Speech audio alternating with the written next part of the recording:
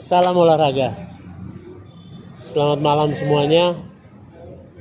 Jumpa di channel kita malam hari ini sebelum akan diadakannya event pertandingan tinju pada tanggal 27 malam hari ini saya selaku promotor ingin menyampaikan satu dan dua hal mengenai pertandingan yang sedianya dilaksanakan.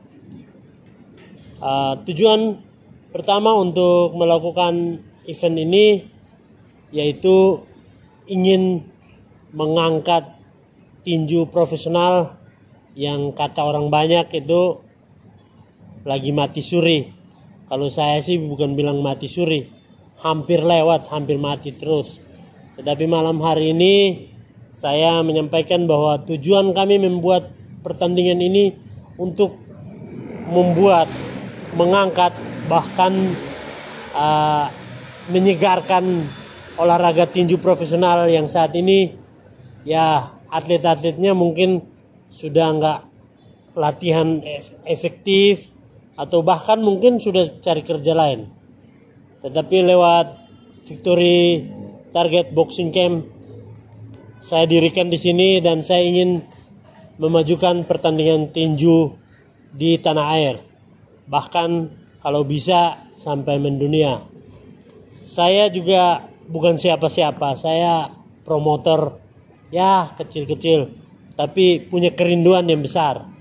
Ya kerinduan saya mengangkat para petinju profesional untuk bisa aktif lagi Sebab tinju ini adalah satu olahraga yang digemari, digandrungi oleh seluruh dunia. Tetapi kalau kita tidak bergerak, maka tinju akan hilang dengan begitu saja atau punah. Kita juga ketinggalan dengan negara-negara lain yang saat-saat ini sudah maju seperti Filipina yang sudah maju, Thailand dan lain-lain. Nah, lewat ini saya juga menyampaikan tujuan membuat pertandingan di tempat yang sederhana ini. Ya, penyampaian saya lewat tempat yang sederhana, saya cuma mau bilang, tinju itu sebenarnya tidak rumit-rumit amat. Kita mau buat di mall atau di mana ke yang bagus, tetap aja tinju itu sama saja.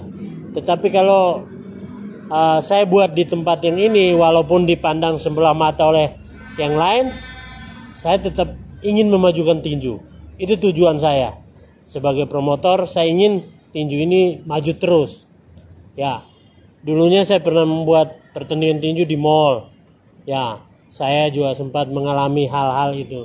Lewat ini juga saya mau menyampaikan ya di dalam tinju ini juga banyak mau bilang mafia-mafia yang akhirnya menghambat lalu kemajuan tinju itu terhambat.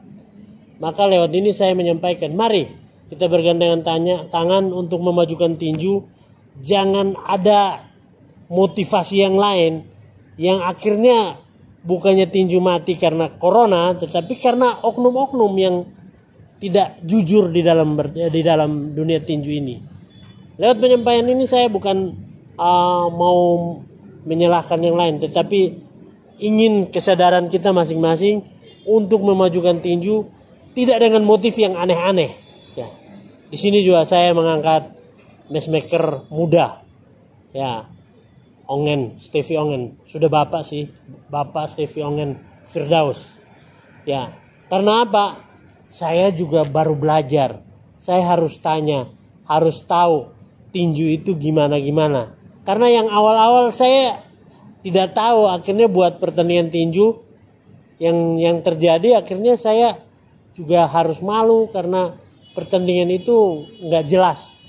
Nah, nah lewat uh, mesmaker muda ini saya bisa konsultasi bagaimana enaknya, bagaimana majunya. Walaupun yang lain-lain katanya ya baru belajar. Tapi justru kita di dalam semua ini harus belajar. Untuk memajukan tinju itu harus belajar. Ya, tidak harus mahir atau sudah uh, profesional banget sampai akhirnya orang-orang yang memajukan tinju jadi uh, tersisih karena ada motif-motif yang kurang ya kurang membuat atau mengangkat pertandingan tinju eh, petinju-petinju. Sampai saat ini saya masih saya bukan petinju tetapi saya masih lihat banyak ketimpangan-ketimpangan di dalam dunia olah, olahraga tinju ini. Oleh sebab itu lewat pesan saya, mari matchmaker yang bagus, petinju-petinju atau mantan petinju atau organisasi tinju, kita bersama-sama majukan tinju. Jangan ada motivasi yang akhirnya menghambat perjalanan tinju ini. Ya. Pertandingan tinju itu sangat baik karena apa? akan membuat atlet-atlet tinju itu untuk rajin berlatih. Atlet-atlet tinju itu juga bukan berlatih saja, tetapi ada pertandingan yang membuat mereka untuk maju. Ya. Mungkin mereka juga bahkan mungkin bayaran yang tidak sesuai atau sudah dibayar masih dipotong lagi sana sini. Tetapi mereka kalau bilang ada pertandingan seberapa pun pasti maju. Itu saya lihat dengan petinju-petinju saya yang dulu. Ya Patrick Dukoto Flasidus Nono bahkan yang muda-muda. Walaupun bayarannya kecil atau mungkin disunatin sana sini mereka mau bertinju. Karena apa? Ada pertandingan maka ada kemajuan. Itu lewat channel ini. Mohon maaf yang sebesar-besarnya kepada semua pihak bukan saya uh, menyentil saudara atau membuat saudara tersinggung tetapi saya ingin kita segar di dalam uh, memajukan tinju segar. Mungkin saat ini kita lagi layu karena kemarauannya terlalu panjang, apalagi ditambah lagi dengan corona, jadi semua pada layu. Tetapi lewat uh, pertandingan tinju besok tanggal 27, saya ingin kemajuan tinju di Indonesia, khususnya profesional, makin maju. Dan bagi insan-insan tinju yang rindu akan kemajuan tinju, Mari sumbangsi saudara untuk memajukan atlet-atlet kita. Terima kasih. Selamat malam. Salam olahraga.